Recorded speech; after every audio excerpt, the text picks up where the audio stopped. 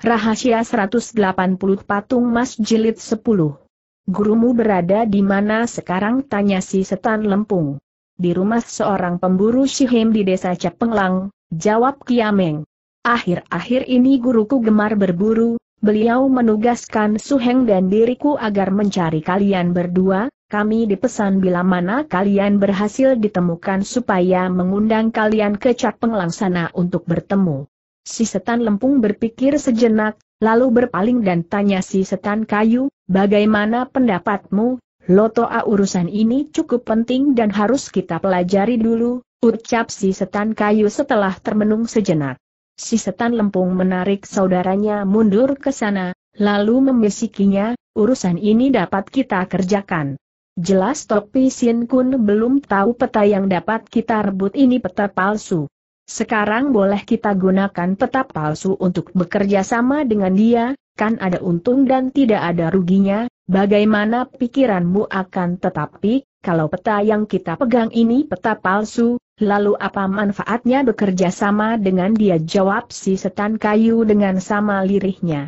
Mengapa bilang tidak ada manfaatnya, ujar si setan lempung kan pemegang peta asli itu pasti juga memerlukan tenaga Saihoatu bila kita gunakan peta palsu untuk bekerja sama dengan Topi Sin Kun, itu berarti kita akan dapat berdekatan dengan Saihoatu. Dengan demikian lambat atau cepat tentu dapat kita tangkap orang yang memegang peta asli itu. Bukankah akal ini cukup bagus walaupun betul juga gagasanmu, namun Topi Sin Kun juga bukan manusia yang dapat diganggu begitu saja, Apabila diketahuinya peta kita ini palsu, kan bisa. Itu pun tidak menjadi soal, tukas si setan lempung, kita kan dapat menyatakan bahwa kita pun tidak tahu peta itu palsu, baik, kata si setan kayu. Cuma, kepergian kita ini harus senantiasa waspada, bisa jadi Topi Sin Kun tidak ada kesungguhan hati untuk bekerja sama dengan kita, mungkin dia justru hendak mencelakai kita agar dia dapat mencaplok sendirian kota emas itu, dengan sendirinya kita harus waspada.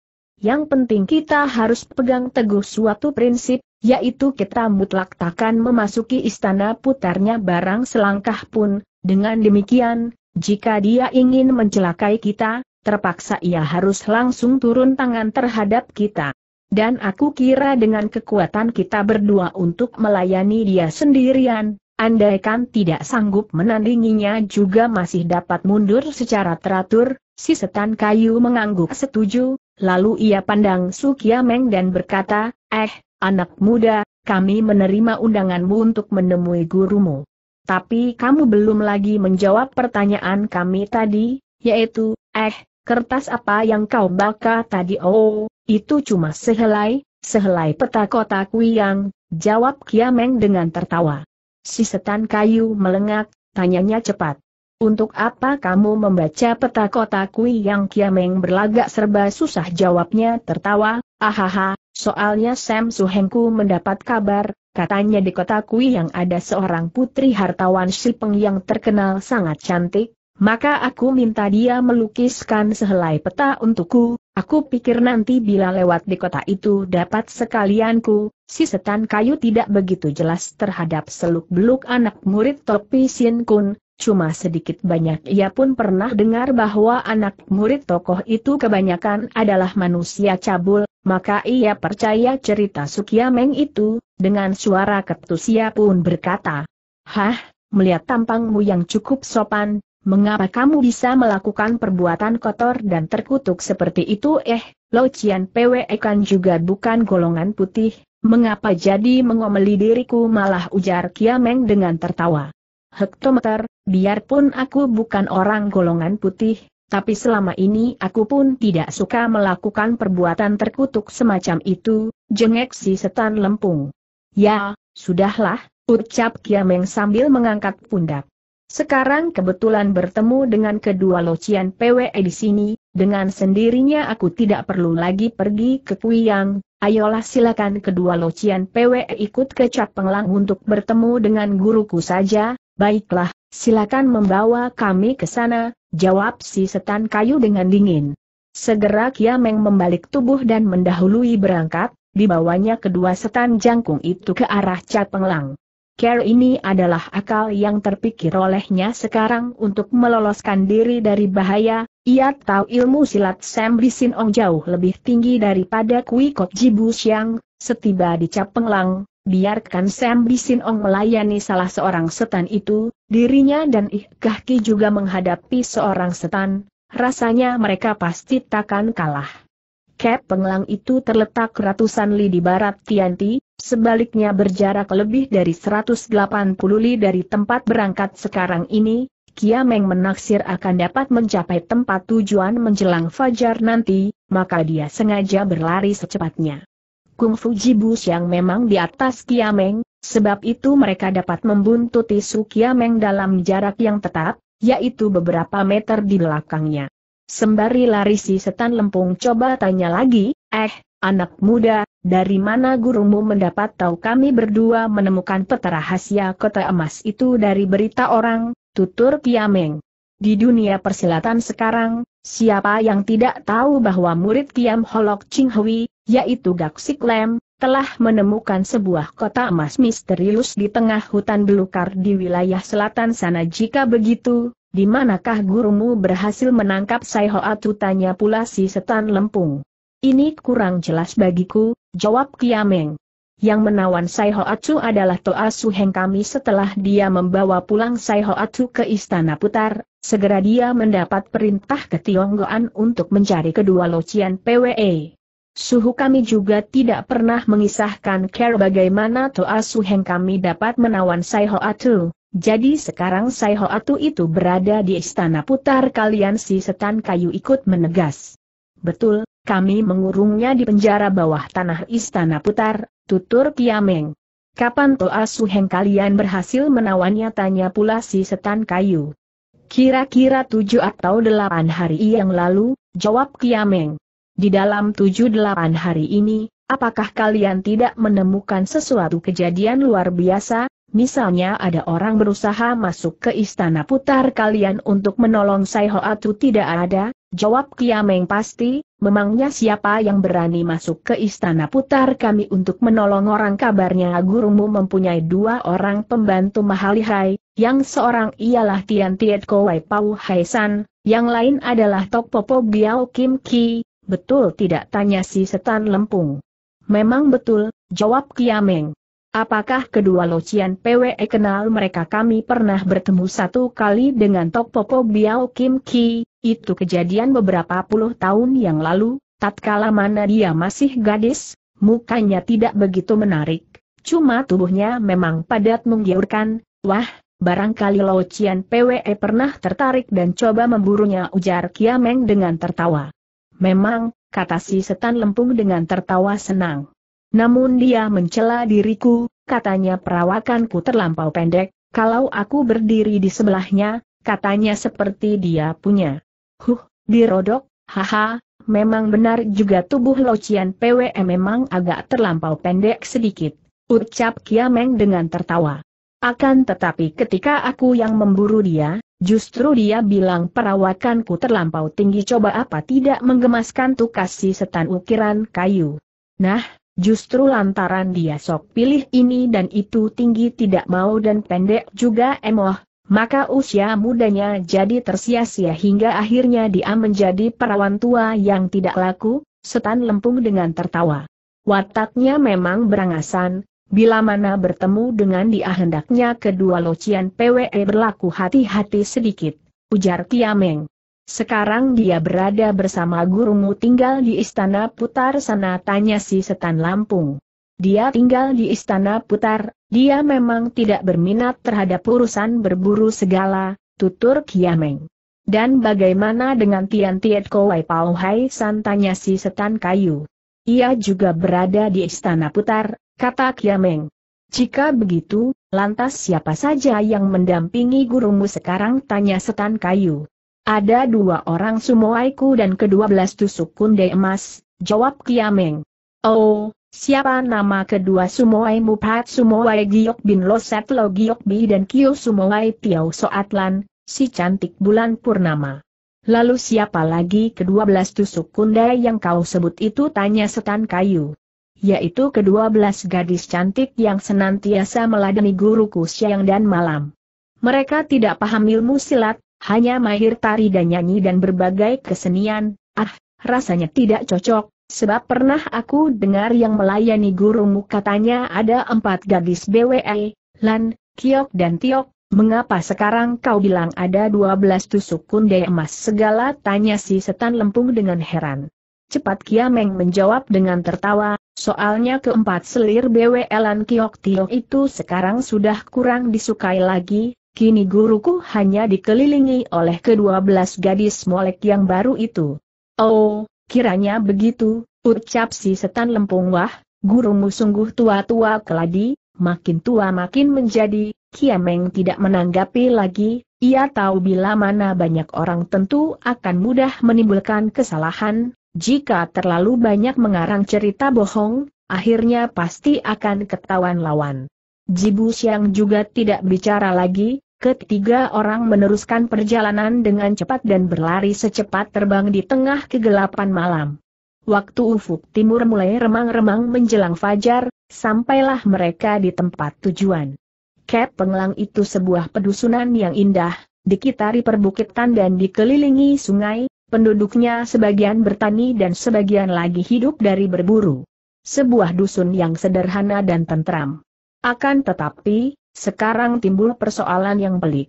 Jika Kiameng datang sendirian untuk mencari Ih Kahki dan Sam Bisinong, tentu secara langsung tanpa tedeng aling-aling ia dapat mencari tahu di mana rumah si pemburu Shihim itu. Namun sekarang ia menyamar sebagai Im Som Hyong, maka ia tidak dapat minta keterangan kepada siapa pun melainkan harus langsung membawa Jibu yang menuju ke rumah si pemburu Shihim yang dimaksud.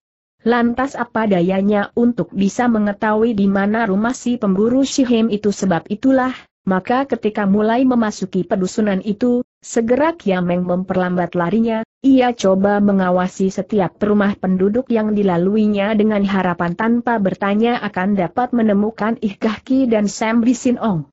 Pada saat itulah si setan kayu yang mengintil di belakangnya itu mendadak bertanya, Eh, anak muda, pernah aku dengar bahwa gurumu adalah seorang yang biasa hidup senang diuruk dengan segala kemewahan, Masakah sekarang dia mau berburu ke tempat terpencil dan tandus seperti ini memangnya apa salahnya jika sekali tempo beliau hidup di pedusunan ujar Kiameng dengan tertawa.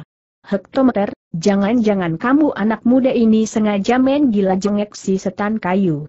Bahwa guruku mau berburu ke pedusunan seperti ini, sebenarnya juga tidak perlu diherankan, tutur. Kiameng dengan berlagak tertawa.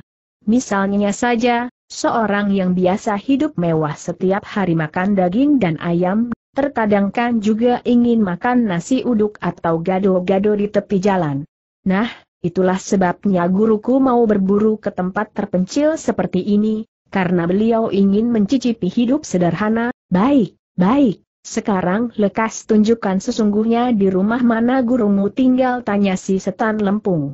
Kiameng melihat penduduk di sekitar kebanyakan adalah keluarga pemburu, ia pikir bila mana benar Sam Bisinong bersama Ih Kahki berada di pedusunan ini sekalipun nanti Jibus yang merasa dipermainkan dan hendak melabraknya, tentu suara ribut-ribut akan memancing munculnya Sam Bisinong dan Ih Kahki. Karena itulah ia menuding sebuah rumah pemburu yang agak besar di depan sana dan berkata, itu, tinggal di sana, mari silakan ikut masuk ke sana bersamaku, mendengar itu, serentak Jibus yang berhenti lari, katanya, tidak, boleh kau masuk sendiri untuk mengundang keluar gurumu dan bertemu dengan kami, diam-diam Kiameng merasa geli, katanya, baiklah, jika begitu, harap kedua locian PWM menunggu sementara, biar aku masuk ke sana untuk memberi lapor kepada suhu, habis berkata, dengan langkah lebar ia terus menuju ke rumah pemburu yang dimaksudkan tadi. Fajar baru menyingsing, kaum pemburu pada umumnya belum bangun tidur. Kiameng coba mengetuk pintu rumah itu, sejenak kemudian baru terdengar suara orang menyahut di dalam, kau, siapa itu aku, silakan buka pintu, jawab Kiameng. Tidak lama kemudian, berkeriutlah daun pintu dibuka orang, Seorang lelaki setengah baya melongo keluar dan bertanya, kau cari siapa numpang tanya, ada seorang pemburu Shihim di sini entah tinggal di rumah yang mana tanya Kiameng dengan suara tertahan. Di luar dugaan, lelaki setengah baya itu menjawab, aku sendiri Shihim, siapa yang kau cari Kiameng jadi melengak sendiri, tapi segera ia pun sangat girang dan berseru, aha, bagus sekali. Aku datang untuk mencari seorang lotiang dan seorang nona cilik, katanya mereka, belum lanjut ucapannya, sekonyong-konyong terdengar seorang gadis bersorak gembira di dalam rumah, aha, kakak Eng, Engka sudah datang menyusul orang yang bersuara lantas muncul dan siapa lagi dia kalau bukan Ihkah Ki adanya. Cepat Kiameng mencegahnya agar si Nona tidak keluar pintu tanyanya dengan suara lirih, apakah Sam Bisin Ong sudah pulang kemari belum? Jawab Kiki. Kemarin aku desak dia ke istana putar musuh untuk mencari kabar tentang dirimu, sampai sekarang juga dia belum pulang, mendengar Sam Ong belum pulang ke Cat Penglang, seketika Kiameng merasa tegang katanya, wah, celaka, lantas bagaimana baiknya ada urusan apa tanya ke Ki bingung. Coba kau lihat siapa kedua orang yang berdiri di belakangku sana kata Kiameng. Waktu Keki memandang ke sana, baru sekarang ia tahu di sana berdiri dua orang kakek yang satu jangkung dan yang lain pendek. Seketika air mukanya berubah pucat, katanya khawatir, Hai, bukankah mereka itu Kui Kok Jibus yang betul aku dipergoki mereka di tengah perjalanan, waktu itu aku sedang membaca peta kota emas. Dengan suara tertahan lalu Kiameng menceritakan pengalamannya. Mau tak mau Kehki merasa gelisah juga, segera ia hendak menarik anak muda itu ke dalam rumah dan berbisik, ayolah, lekas kita lari melalui pintu belakang wah, jangan, dengan care begini kan berarti membuat susah tuan rumah di sini ujar Kiameng. Habis bagaimana, ahaha, itu dia, mereka sudah menuju kemari, seru Kehki khawatir.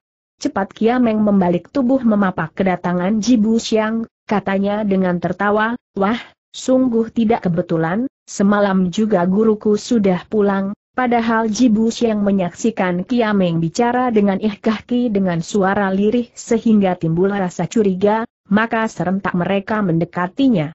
Sekarang diberitahu bahwa Tok Pisin pun sudah pulang ke Istana Putar, tentu saja mereka tambah sanksi.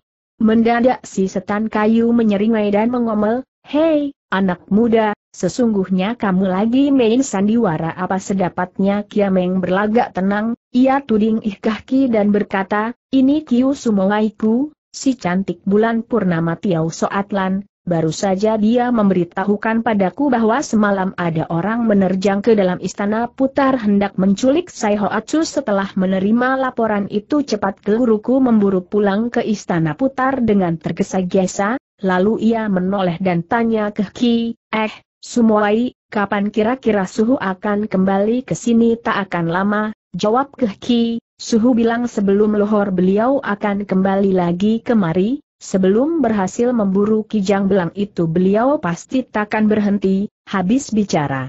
Ia sengaja memberi lirikan genit kepada Jibus yang dengan tersenyum manis. Seketika Jibus yang merasa syur, dengan tertawa lebar si setan lempung bertanya, eh, nona cilik, Apakah kamu ini benar si cantik bulan purnama Tiau Soatlan Kohki tertawa genit, jawabnya, memangnya kau sangka aku ini siapa kabarnya kamu suka berkeliaran di malam hari ketika bulan purnama, apa betul tanya si setan lempung dengan menyengir. Betul, soalnya aku suka pada cahaya rembulan yang memikat itu, jawab Keki.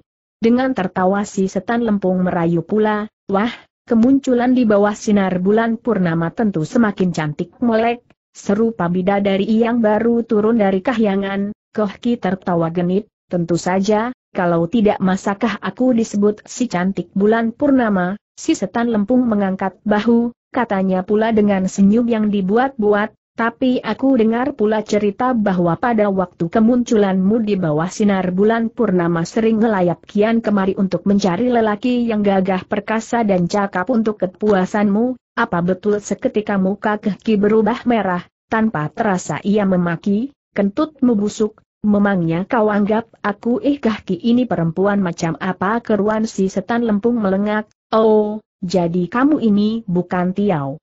Soat Lan Koh Kim melonjak kaget dan tersadar, cepat jawabnya, oh, tidak, aku, aku memang si cantik bulan purnama Tiao Soat Lan, ih.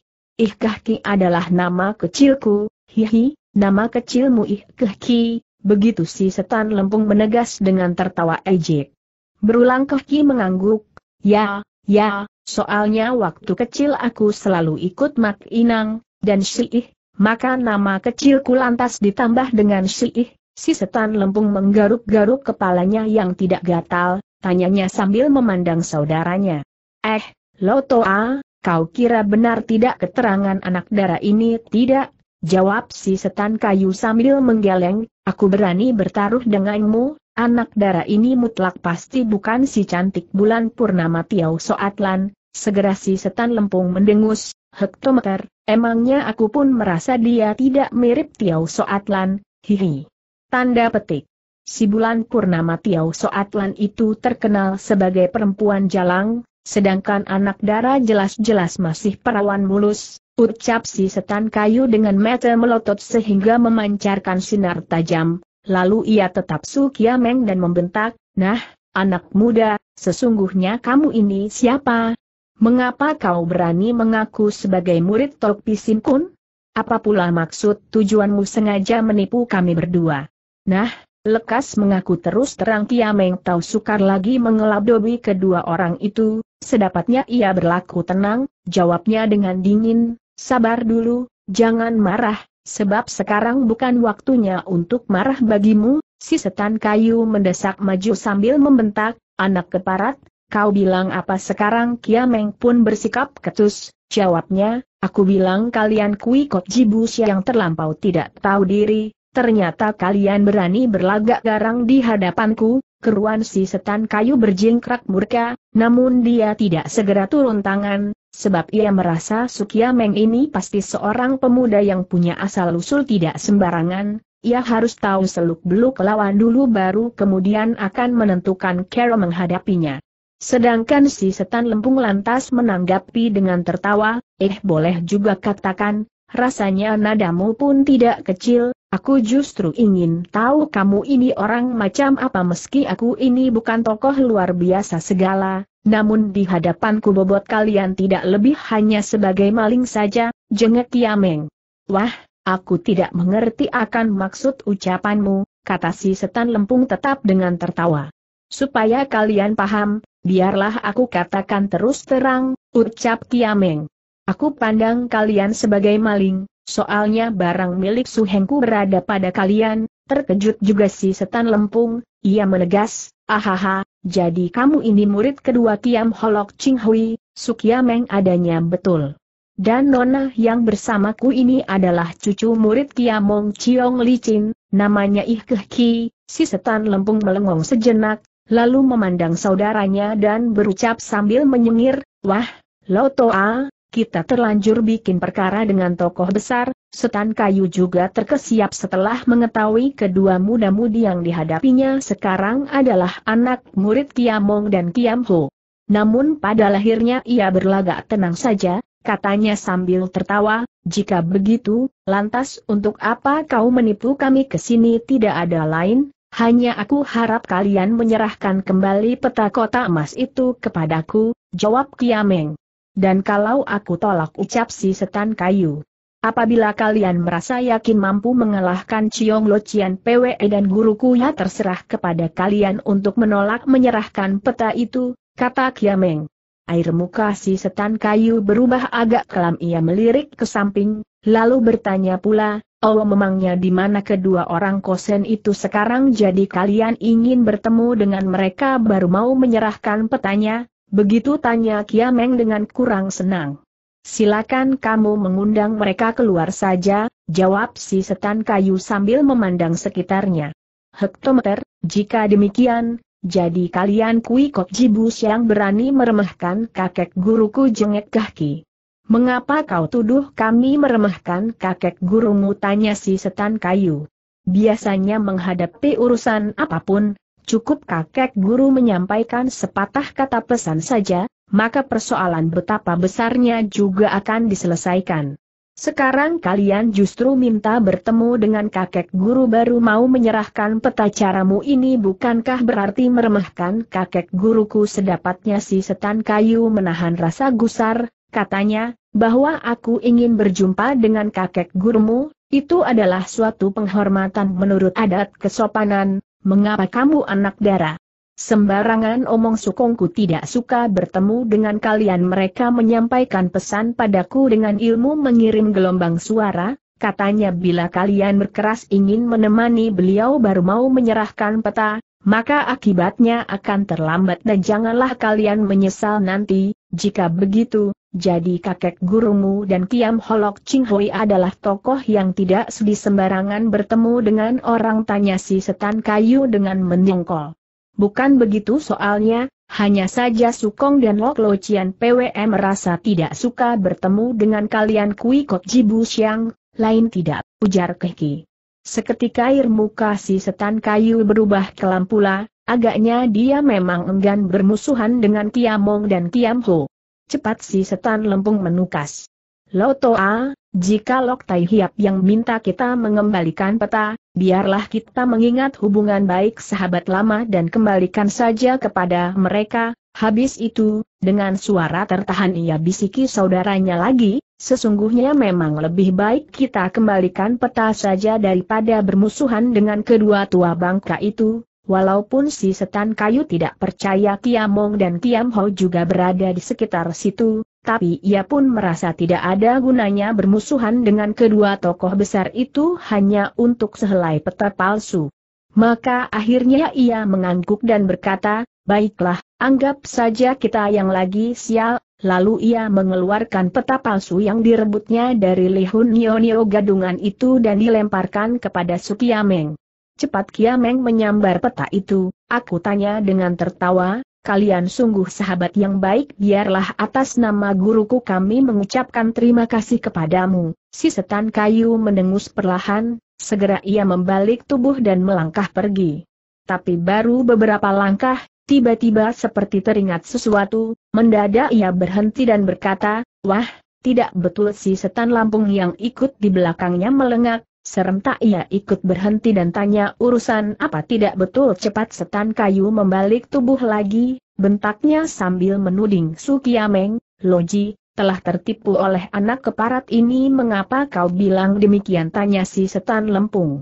Hehehe, coba kau pikir, dia baru saja sampai di sini, malahan tadi dia menyaru sebagai Im Som Hyong, katanya gurunya, yaitu Topi Sin Kun telah pulang ke istana putar, Begitu bukan kata si setan kayu dengan terkekeh.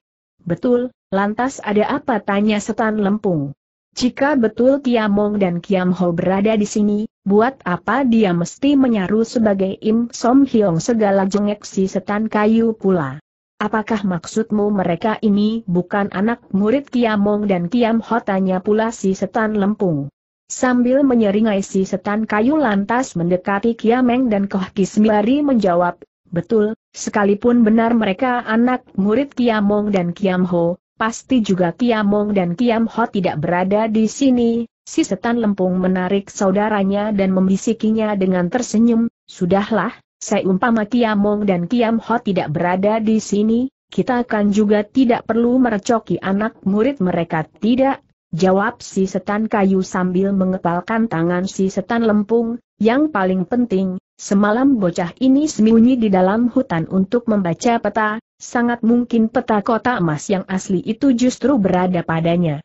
Tergetar juga hati si setan lempung, seketika berubah jalan pikirannya, air mukanya serentak pun bercahaya seperti menemukan sesuatu rejeki besar, kedua matanya yang sipit seketika pun terbelalak lebar. Perlahan ia berkata kepada Sukiameng, eh, betul tidak persoalannya, Lekas katakan terus terang saja, anak muda, kertas yang kau baka semalam dengan sembunyi di dalam hutan itu apakah peta asli kota emas? Sama sekali Kiameng tidak menduga si setan kayu akan timbul rasa curiga padanya selagi hendak melangkah pergi, keruan ia rada mendongkol, tapi ia berlagak heran dan menjawab, sungguh aneh, kecuali peta yang baru saja aku terima dari kalian ini, dari mana pula pernah aku pegang peta asli apa segala si setan lempung menyeringai, sudahlah jangan kamu berlagak pilon, pasti sebelumnya kamu sudah tahu peta yang kami peroleh itu adalah peta palsu, apa katamu? Peta yang kalian serahkan padaku ini peta palsu Kiameng berlagak menegas dengan terkejut. Mendadak si setan kayu menerjang tiba sambil membentak bengis, tidak perlu banyak bicara lagi, ayo lekas serahkan peta asli itu keadaan sudah berkembang sejauh ini, rasanya tidak bisa lain daripada saling gebrak. Keki melihat Seng kekasih bertangan kosong, cepat ia lolos pedangnya dan diserahkan kepada Kiameng sambil berkata, Kakak Eng, boleh kau tahan dia beberapa jurus dulu, biar aku ambilkan pedangmu kiranya sebelum Su Kiameng masuk ke istana putar musuh dengan menyamar sebagai Oh Tok Hang, pernah ia menyerahkan pedang sendiri yaitu pedang tanda metu berasal dari Ih Kahki untuk disimpan si Nona. Maka sekarang pedang yang diserahkan Kahki kepada Kiameng ini justru adalah pedang milik Kiameng sendiri. Setelah memegang senjata tentu saja Kiameng tambah tabah. Siapa tahu, Selagi ia hendak putar pedang untuk memapak serangan si setan kayu, tahu-tahu lawan yang sedang menubruk tiba itu sekonyong-konyong seperti terserang secara gelap, tubuh orang tua jangkung itu mendadak tergetar menyusul dengan anjlok ke bawah dengan kehuakan dengan wajah memperlihatkan rasa kaget dan takut, cepat ia melompat mundur pula beberapa meter jauhnya. Tentu saja si setan lempung yang hendak menerjang maju itu pun ikut terkejut, tanyanya cepat, Hei Lotoa, ada apa tanpa pikir lagi si setan kayu terus melompat terlebih jauh ke sana sembari berseru kepada kawannya, lekas lari, Kiamong dan Kiam Ho datang si setan lempung terperanjat, mana dia berani tinggal sendiri di situ, cepat ia pun lari secepatnya mengikuti jejak kawannya. Semula Kiameng menduga pasti akan terjadi pertarungan sengit, tak tersangka bisa terjadi perubahan secepat ini. Ia tahu orang yang membuat kaget dan membuat takut Kui Kok Jibus yang itu pasti bukan Kiamong Chiong Licin dan berseru dengan tertawa, apakah Pek Lilocian PWS sudah kembali hahaha terdengarlah suara gelak tertawa seorang berkumandang dari balik rumah gubuk di depan sana. Menyusul lantas muncul seorang tua, siapa lagi dia kalau bukan Sam Bisin Ong Pek Lipin. Perlahan ia melangkah maju, ucapnya dengan tertawa, adik cilik, mengapa kalian sampai bertengkar dengan kedua setan ganas itu? Kiameng mengembalikan pedang kepada Keki, lalu menjawab dengan tertawa, apakah barusan Peklilau Cian PWI yang bersuara dan membuat kedua setan itu lari ketakutan betul? Jawab Sam Bisin Ong, baru aku pulang sampai di sini, pada saat itulah aku lihat si setan kayu melemparkan peta palsu kepadamu. Kemudian aku lihat dia mau pergi dan mendadak putar balik dan berubah sikap, maka terpaksa aku gunakan gelombang suara untuk menegurnya Yau Ling, apakah kamu ingin mampu? Sia menyangka aku adalah Kiamong atau Kiam Ho seketika ia urungkan terjangannya padamu dan lari sifat kuping dengan ketakutan, hahaha, setelah tertawa, mendadak ia menjulurkan tangan dan berucap pula, nah, adik cilik, Peta pun tentu dapat kau potong setengah bagian untukku. Sabar dulu, ujar Kiameng dengan tertawa coba jelaskan care bagaimana engkau membereskan Tok Pisin Kun sudah aku bawa dia pulang ke istana putar dan aku serahkan kembali kepada anak muridnya, tutur Sam Bisin Ong dengan tertawa. Tentu kau katakan Tok Pisin Kun kau selamatkan dari tanganku begitu bukan tanya Kiameng. Betul, hubunganku dengan Tok Pisin Kun tidak buruk, kan pantas jika aku berbuat sedikit kebaikan baginya, ujar si kakek. Tapi apakah kau kira Topi Sin Kun akan menyudahi begitu saja urusan ini betapapun tidak ada gunanya meski dia tidak rela dan tidak mau menyudahi urusan ini, sebab paling sedikit dia perlu rebah di tempat tidur selama setengahan tahun, oh, maksudmu dia telah kau kerjai sehingga terus menggeletak di tempat tidur tanya Kiameng dengan melengak. Betul, Sam Bisin Ong mengangguk. Pada waktu dia belum siuman, diam-diam telah aku kerjai dia.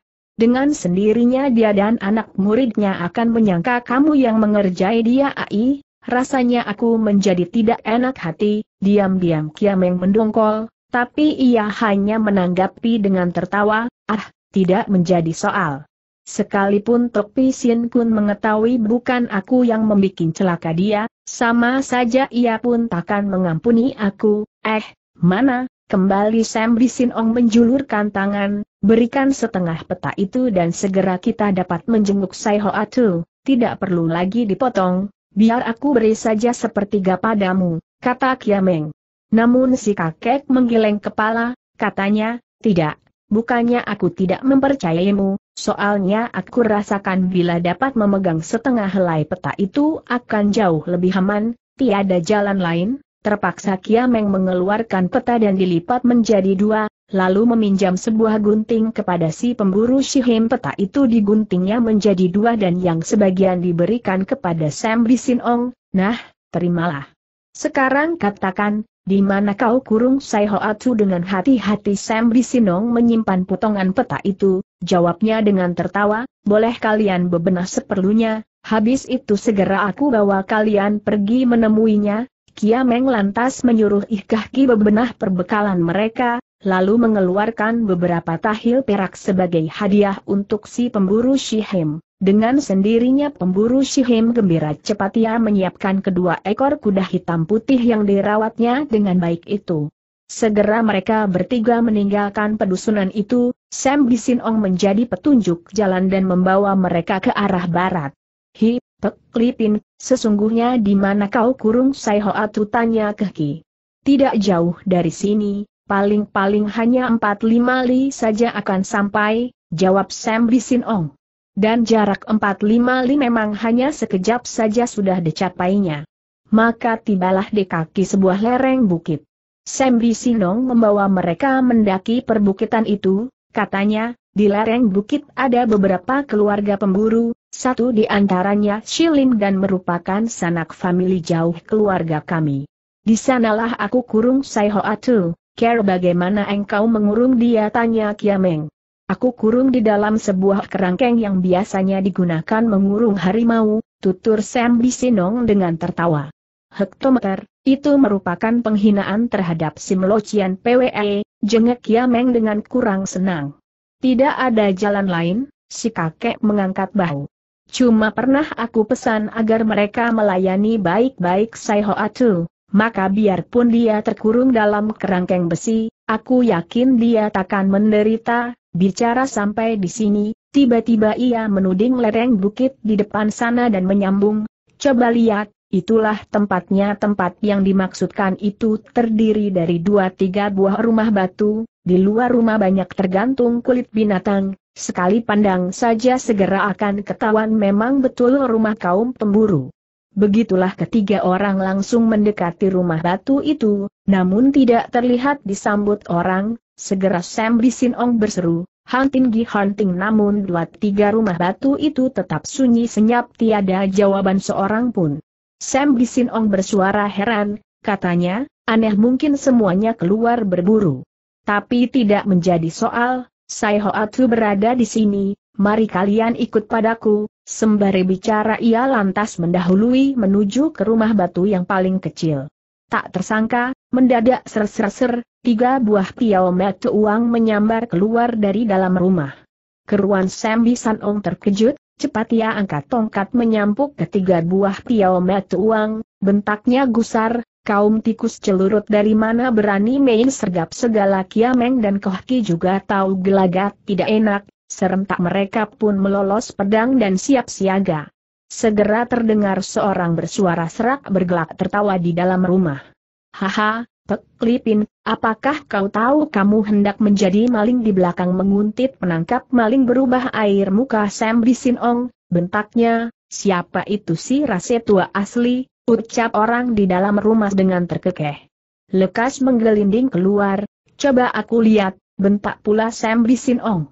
Baik, ini dia berbareng itu dari dalam rumah lantas muncul seorang tua berbaju kelabu, bermuka tirus, metu kecil dan mulut monyong, Sebelah tangan mengempit Sai Hoatu. Kembali air muka Sam Bisin Ong berubah setelah mengenali orang, teriaknya gusar, kiranya kau hehe, memang aku, tak tersangka bukan seru si kakek baju kehuangu dengan tertawa. Dari mana kau tahu Sai Hoatsu aku kurung di sini tanya Sam Bisin Ong dengan muka masam. Dengan sendirinya hasil penguntitanku, jawab si kakek baju kelabu. Kamu Sam Bisinong hanya tahu membuntuti orang, sebaliknya aku pun terus menguntit di belakangmu.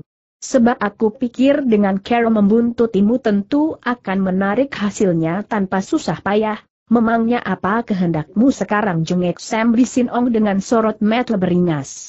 Memangnya perlu kau tanya lagi jawab si kakek baju kelabu. Dengan sendirinya aku ingin minta bagian rejeki, kentut teriak Sam Bisinong murka. Si kakek baju kelabu menuding Sai Hoatu yang dikempitnya dan berkata, bukan kentut. Jika aku tidak pegang Sai Hoatu ini memang mungkin cuma kentut belaka, tapi dengan memegang Sai Hoatsu ini jadinya bukan kentut lagi, Kia Meng ikut melengong oleh ucapan itu ia coba tanya Sam Bisin Ong, memangnya siapakah Loti yang ini dia si rasa tua, Cukat Xiong Leng, jawab Sam Bisin Ong dengan gemas. Terkesiap juga hati Kia Meng oleh nama itu, diam-diam ia mengeluh mengapa makhluk tua aneh ini pun datang kemari, Kiranya Loholi atau si rase tua Cukat Siong Leng juga seorang tokoh dunia persilatan kelas top, meski kungfunya tidak lebih tinggi daripada Kiamong, Kiam Ho, Topi Sin Kui, Itsik Sin Kai, Sam Bisin Ong dan sebagainya, namun kecerdasannya justru tidak ada tandingan di kolong langit ini. Dia seorang tokoh yang banyak tipu akalnya dan licin luar biasa. Selama berkecimpung berpuluh tahun di dunia Kang Ou, entah betapa banyak tokoh terkemuka yang dikalahkan oleh tipu akalnya yang licin dan licik, termasuk tokoh ternama seperti Itsik Sin Kai dan Sam Bisin Ong. Sebab itulah namanya sangat cemerlang dan disegani.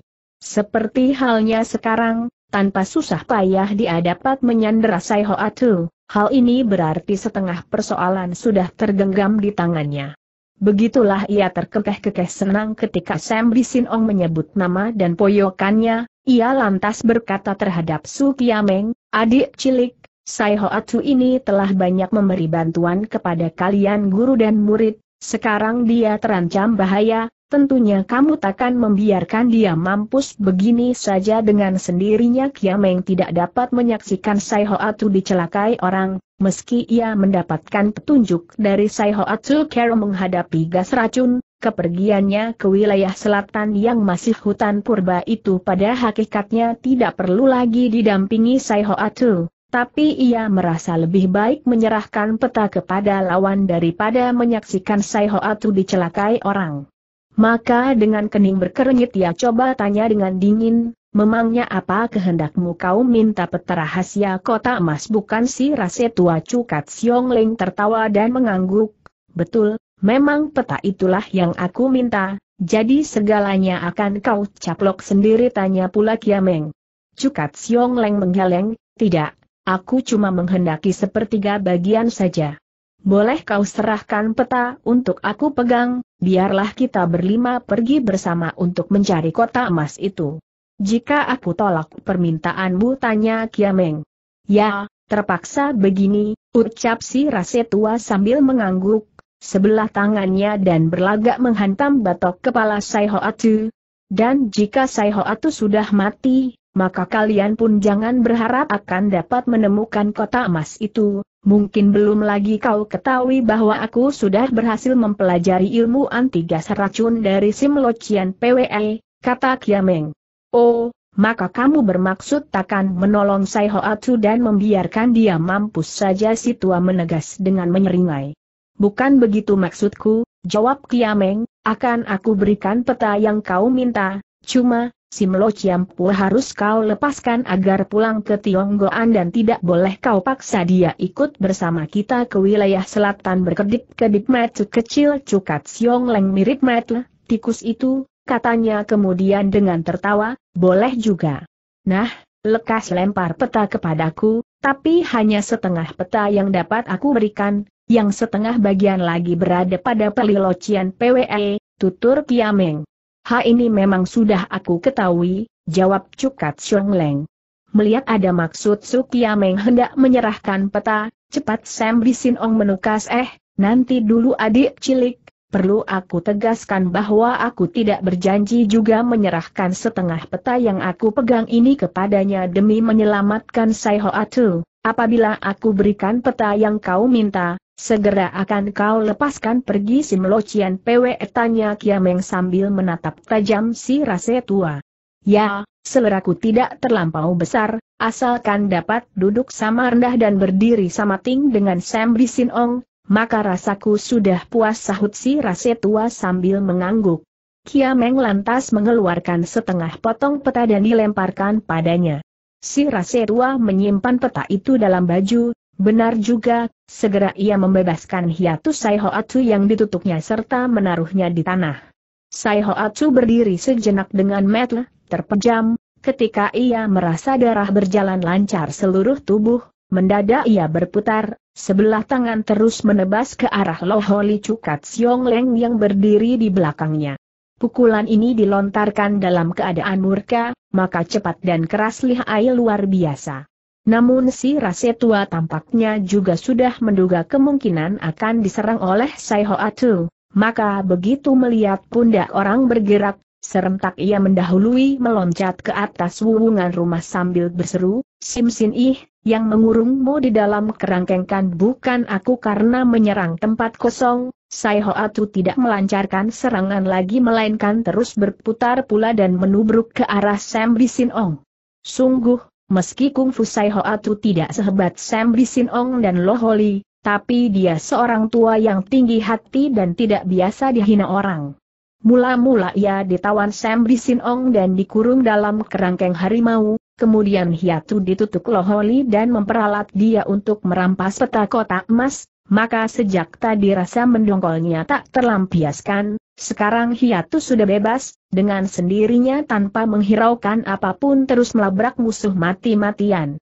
Tampaknya Sam Bisin Ong juga tidak berniat bergebrak dengan Sai Hoatu, maka cepat ia melompat mundur beberapa meter jauhnya sambil berseru dengan tertawa, eh, Sim Sin Ih, ada urusan apa boleh dibicarakan secara baik-baik, kenapa mesti marah-marah begini? Muka Sai Hoatsu merah padam karena kedua orang itu tidak mau bergebrak dengan dia, teriaknya beringas, hektometer, kalian berdua loh kui, kura-kura tua, artinya germo tua, ini, kalau jantan sejati ayolah turun kemari untuk bertarung mati-matian denganku, karena dimaki dengan istilah Loh Kui Kiameng melihat air muka Sam Bisin Ong dan Loh Holi berubah masam, tampaknya seperti tidak tahan akan makian kotor itu, betapapun Kiam.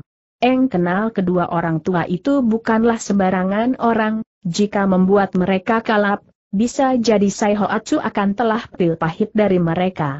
Maka cepat Kiameng melerai, si Melocian PWE hendaknya jangan marah, Apabila kedua Locian PWE itu berbuat sesuatu kesalahan, namun mengingat mereka mau bekerja sama denganku secara jujur, harap mengingat hubungan Sim Locian PWE dengan guruku, sudilah, Sai Hoatu mendengus, hektometer, kau kira mereka benar-benar mau bekerja sama denganmu secara jujur? Cepat Kiameng memberi isyarat kedipan mata dan menjawab. Tentu begitulah.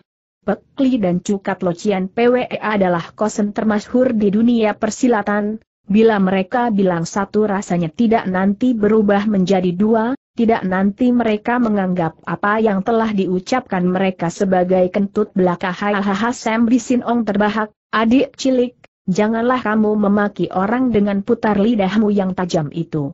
Kan sudah aku katakan, pasti akan bekerja sama denganmu sampai tuntas, Si rase tua juga tergelak dan menjawab, ya, aku pun begitu, maka janganlah kau khawatir Kiameng berlagak terhibur, ia memberi hormat kepada Sai Hoatsu dan berkata, ucapan mereka memang betul, dengan bantuan mereka berdua pasti rencanaku akan tercapai, maka si Melocian PWE boleh silakan pulang saja, Sai Hoatsu tahu anak muda itu tentu mempunyai maksud tertentu, maka ia pun tidak marah jawabnya dengan mengangguk, Baiklah, setelah aku pulang ke Tionggoan, tentu akan aku beritahukan kepada gurumu tentang pengalamanmu ini, bila mana terjadi sesuatu yang tidak menguntungkan dirimu. Aku yakin gurumu cukup tahu terhadap siapa dia harus menuntut balas atau minta pertanggungan jawab. Habis berkata segera ia berlari pergi, hanya sekejap saja menghilang dalam hutan di kejauhan. Kia Meng lantas berkata kepada Sam Bisin Ong dan Lo Holi, baiklah, sekarang boleh kita berangkat. Sam Bisin Ong tidak menjawab, ia berbalik tanya Lo Holi dengan menarik muka, rasa tua, apakah segenap anggota keluarga familiku ini telah kau bunuh si rasa tua menggeleng kepala, tidak, tidak mana aku berani mencari perkara terhadap engkau Sam Bisinong?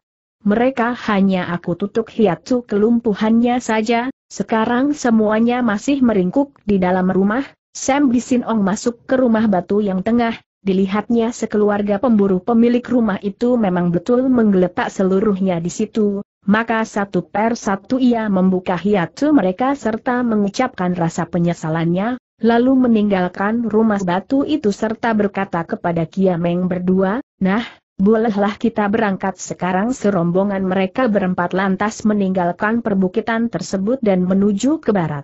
Kiameng dan Kohki tetap menunggang kuda hitam dan putih, Sam Bisinong dan Loholi mengintil di kanan kiri mereka dengan berlari sehingga kedua kakek itu lebih kaum hamba kedua muda-mudi itu. Dasar kungfunya tinggi dan nyalinya besar, di tengah jalan Loholi berani mengeluarkan peta, sembari lari sembari bakal, katanya dengan tertawa, saudara Pekli Kero menggunting peta ini sungguh sangat tepat, tanpa menggabungkan kedua potong peta ini, betapapun sukar mengetahui apa isi yang terlukis di dalam peta, tergelitik juga hati Sam Bisinong, tanpa terasa ia pun mengeluarkan setengah potong peta yang dipegangnya itu untuk dibaca, ucapnya dengan tertawa, titik tolak yang dilukiskan peta ini terletak di Ting Chiong, Setiba di Ting Chiong barulah kita gabungkan kedua potong peta kita untuk dipelajari bersama, saat ini juga sudah dapat aku raba di mana letak kota emas itu. Masa engkau belum lagi dapat melihatnya ujar si tua dengan tertawa. Aku bukan orang buta, masa tidak dapat melihatnya, jawab Sam Bisin Ong ketus.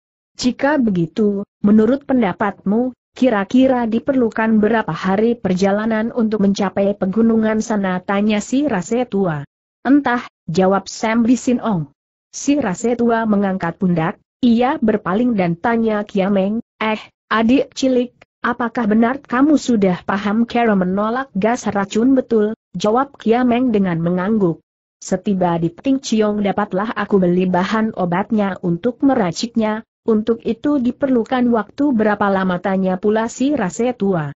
Kira-kira cukup tiga hari saja, si rase tua tertawa gembira, katanya, apa pun juga sebulan kemudian aku yakin kita akan dapat mencapai kota emas itu, atau dengan perkataan lain, lewat sebulan lagi kita akan menjadi hartawan kaya raya, kita yang kau maksudkan itu termasuk aku eh kahki atau tidak tanya si Nona dengan tertawa. Dengan sendirinya Nona Ih pun akan mendapat bagian sekadarnya, ujar si rase tua.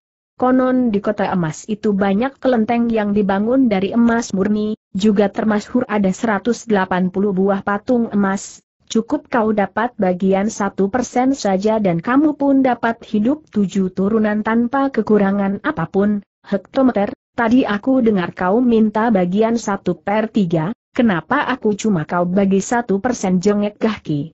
Loholi hanya tertawa saja tanpa menjawab, katanya terhadap Sam Bisin Ong, Pek Lipin, setelah kota emas itu kita temukan, kira-kira dengan care bagaimana akan kita angkut emas sebanyak itu pulang ke Tionggoan ya, betul, itu memang persoalan yang pelik, jawab Sam Bisin Ong dan berbalik tanya kembali, dan menurut pendapatmu, supaya aman, care bagaimana sebaiknya aku justru tidak menemukan care yang baik dan aman, makanya minta petunjuk padamu, ujar si Rase. Tua. Sudahlah, tidak perlu jual mahal lagi, jengek Sam Ong. Siapa pun tahu si Rase tua banyak tipu akalnya, aku tahu sejak tadi tentu sudah kau dapatkan care, terbaik untuk mengangkut partai emas itu pulang ke Tionggoan, wah, Aku sungguh-sungguh tidak tahu care bagaimana mengangkutnya, keluh si rase tua. Hektometer, dengarkan rase tua, jengek pula Sam Bisin Ong. Sekali ini lantaran sebelumnya sudah aku sepakati dengan Sulote bahwa aku cuma ambil satu per tiga bagian emas murni itu, maka satu per tiga bagianmu itu harus kau bagi lagi dari bagian Sulate, maka aku tidak perlu urusan denganmu. Tapi bila mana ada maksud jahatmu hendak main gila, maka sebaiknya kau hapus pikiranmu itu, sebab sekali ini aku pasti takkan tertipu lagi dan juga takkan memberi ampun pula padamu. Ai, janganlah peliheng banyak curiga, aku ini bukanlah manusia yang serakah tanpa kenal batas, ujar Loholi. Diam-diam Kiameng merasa geli oleh pertengkaran kedua orang tua itu, ia coba tanya, Apakah dahulu Pek Lilocian PWE pernah tertipu oleh Cukat Locian PWE? Betul malahan tidak cuma sekali maka sekarang sudah kapok, sahut Sam Bisin Ong. Dia memang licik dan licin, maka juga perlu hati-hati terhadap dia. Sekarang aku sudah tidak punya apa-apa lagi, yang aku miliki hanya resep care membuat obat, terkecuali Cukat Locian PWE juga tidak khawatir akan gas racun, kalau tidak kan dia masih memerlukan bantuanku demi menjaga keselamatanmu. Memangnya apa yang perlu aku takuti sebelum menemukan kota emas itu tentu saja kamu tidak perlu waspada, tapi sesudah kota emas ditemukan, betapapun kamu perlu hati-hati, ujar Sam Bisin Ong.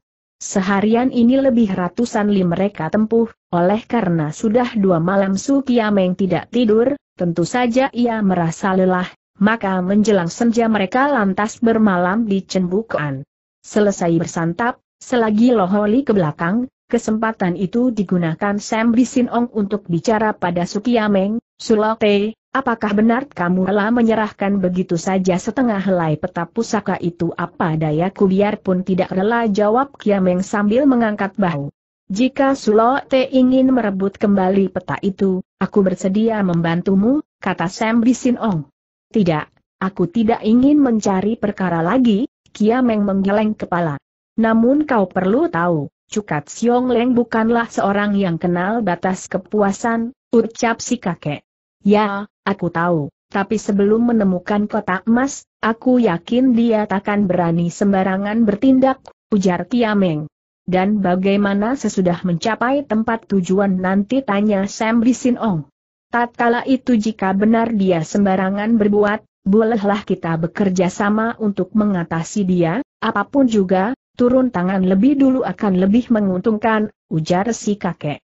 Kiameng tersenyum, tapi aku kira care demikian tiada manfaatnya bagi kita, mengapa kau bilang tidak ada manfaatnya tanya Sam Bisin Ong. Sebab aku yakin saat ini pasti juga masih ada tokoh persilatan lain yang sedang mengintai di sekitar kita serta mencari kesempatan untuk merampas peta, kata Kiameng. Jika mereka tidak berani sembarangan turun tangan, hal ini disebabkan mereka merasa bukan tandingan kalian berdua orang tua. Bila mana sekarang salah seorang kalian tidak ada lagi, tentu musuh akan segera muncul untuk bertindak. Lantaran itulah aku kira sekarang ini bukan waktunya untuk menumpas si tua, Sembi Sinong merasa urayan Sukiameng cukup beralasan, ia mengangguk, katanya dengan tersenyum. Ya, betul, pandangan Sulo Te yang jauh ini sungguh sangat mengagumkan. Kiameng menguap kantuk, ia berdiri dan berkata, maaf aku mau tidur, setiba di kamarnya, Kia Meng melihat kaki masih terus mengikutinya dan tidak mau berpisah, segera katanya, hendaknya kau pun kembali ke kamarmu untuk tidur, setelah menempuh perjalanan seharian masakah kamu tidak lelah? Kaki duduk di suatu bangku batu ucapnya dengan suara lirih, aku ingin bicara denganmu tentang kota emas dan kedua tua bangka itu, memangnya ada sesuatu pendapatmu? tanya Kiameng dengan suara tertahan. Sesungguhnya kota emas itu terletak di mana tanya Keki. Di lereng Gunung Mepansan, jawab Kiameng. Betul-betul di lereng pegunungan itu Keki menegas. Untuk apa aku memohongimu jika begitu, engkau benar-benar hendak pergi ke sana bersama kedua kakek itu peta berada pada mereka, apa dayaku jika tidak pergi bersama mereka jika jelas diketahui kota emas itu terletak di Mopansan, Buat apa lagi kita mesti pergi bersama mereka? Agaknya kamu tidak tahu bahwa lereng Gunung Mepansan itu memanjang beberapa ratusan li, kalau tidak mencari menurut petunjuk peta, sukar sekali menemukan kota emas itu, waktu kau pegang peta itu, mengapa tidak kau baka sejelasnya tanya Keki ada maksudku. Hendak aku baka dengan jelas tapi sewaktu aku baka, Kui Kok Jibu siang itu keburu datang, tutur Kiameng. Hektometer, dengan susah payah dan menyerempet berbagai bahaya baru dapat kau rebut peta itu, tapi akhirnya peta itu kau bagi setengah-setengah dengan kedua tua bangka itu, kan penasaran ujar si Nona. Tidak menjadi soal, yang aku carikan Jian Lian Hok Leng dan bukan emas ujar Kiameng. Namun kau bilang di tengah ke 180 patung emas itu tersembunyi semacam ilmu pedang sakti, bila mana sampai diperoleh kedua tua bangka itu, kan berarti menambahkan sayap bagi harimau. Ini pun tidak menjadi soal, ujar Kiameng.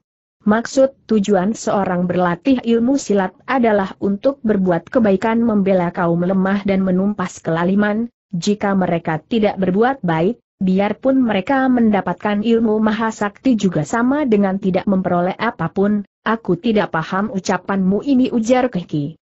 Pada suatu hari nanti tentu kamu akan paham, kata Kiameng. Sekarang boleh kau kembali ke kamarmu untuk tidur saja, esok paginya rombongan mereka berempat lantas meninggalkan hotel dan menempuh perjalanan sehari suntuk lagi, berturut-turut empat hari tidak terjadi sesuatu. Menjelang lohor hari kelima, selagi rombongan mereka menempuh perjalanan, tiba-tiba Keki menunjuk sebuah gunung di kejauhan dan bertanya, Hei, apa nama gunung itu? Tinggi amat itulah Mopansan yang kita tuju, juga dikenal dengan nama Gunung Kalikong, tutur Sam Bisinong dengan tertawa. Keki melengak, tanyanya kepada Sukiameng, Hei, bukankah kau bilang hendak menuju dulu ke Ting Chiong betul sudah dekat dengan tempat itu, jawab anak muda itu.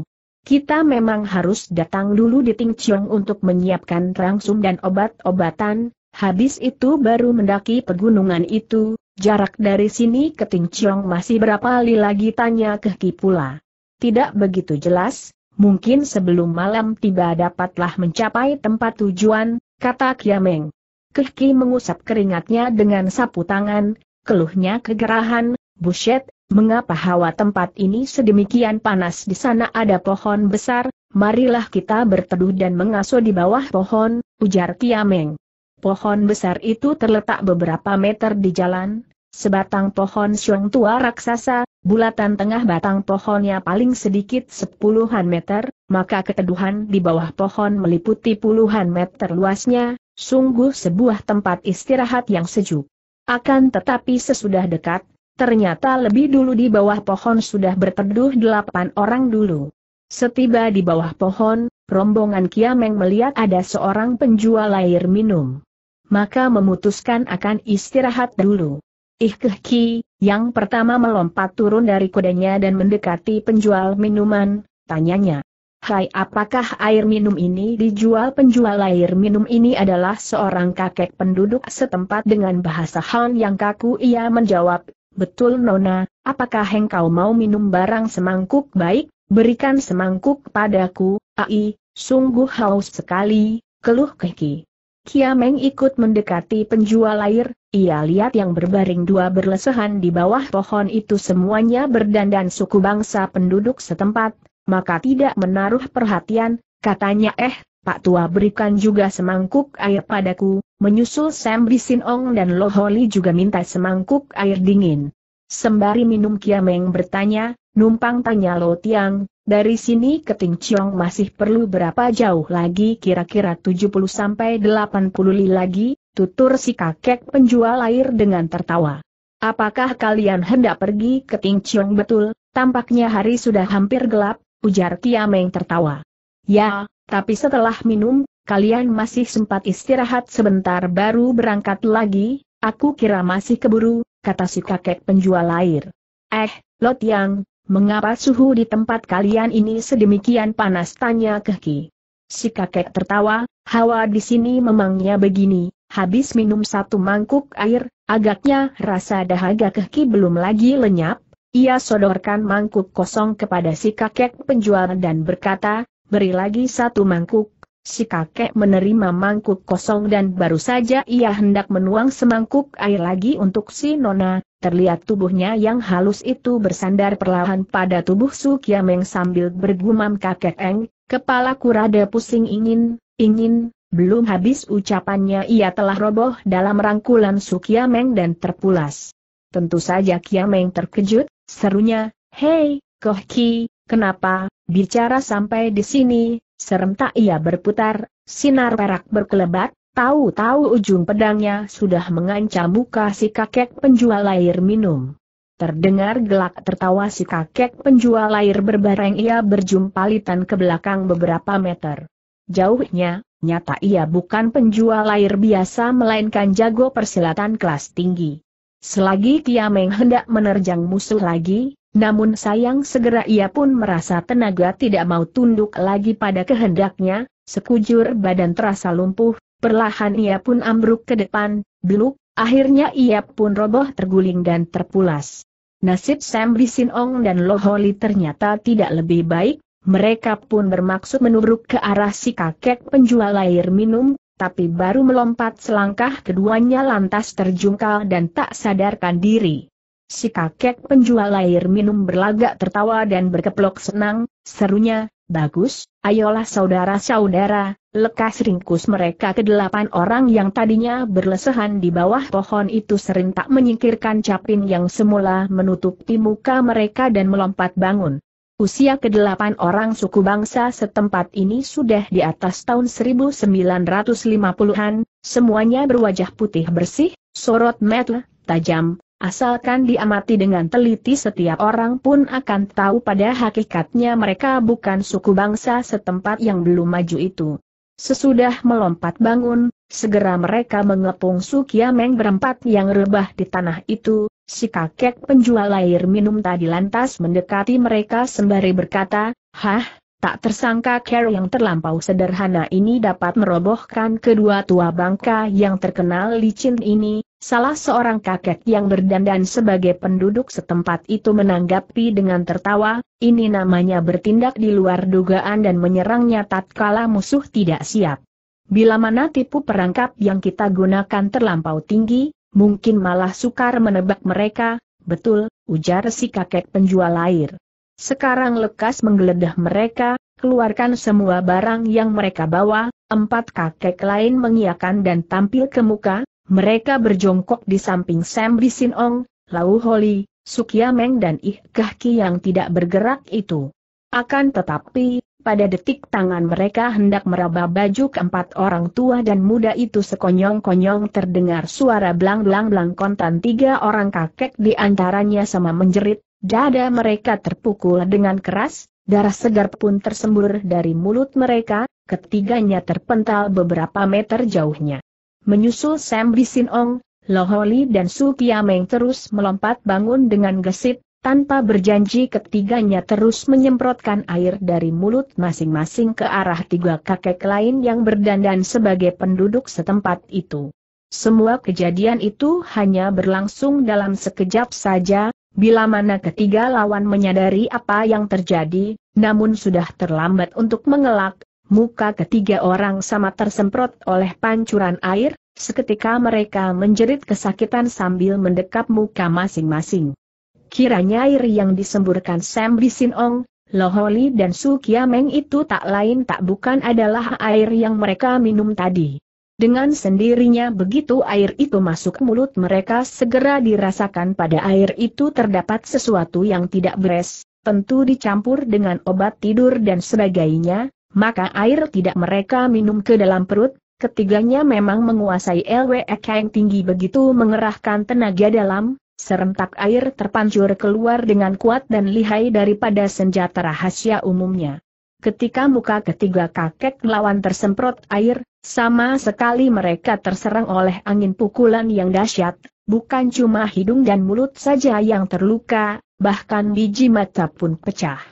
Mereka sama terguling sambil mendekap muka masing-masing, setelah meraung kesakitan sekian lama, akhirnya sama binasa. Hanya dalam sekejap saja sembilan orang musuh sudah berkurang enam. Si kakek penjual air minum dan sisa dua kakek lagi sama sekali tidak menduga Sam Ong bertiga hanya pura-pura pingsan saja, Sekarang keenam kawan mereka sebagian sekarat sebagian binasa, keruan mereka ketakutan setengah mati. Berbareng mereka berteriak aneh, lalu melompat mundur dan bermaksud kabur. Berhenti bentak Sam Bisinong, secepat kilat ia menubruk ke arah si kakek penjual air minum. Sukyameng dan Loholi juga memburu kedua kakek yang lain. Gerak-gerik Cukat Siong Leng alias si rase tua ternyata sangat cekatan, hanya dua kali naik turun saja ia sudah melampaui kepala seorang lawan dan menghadang di depannya. Kia Meng memerlukan lari belasan meter jauhnya baru dapat menyusul sasarannya, pedang bergerak langsung ia menusuk punggung musuh. Namun kakek itu sempat mengelak ke samping sehingga tusukan Kia Meng mengenai tempat kosong, berbareng kakek itu memutar balik, mendadak pedangnya balas menyabet.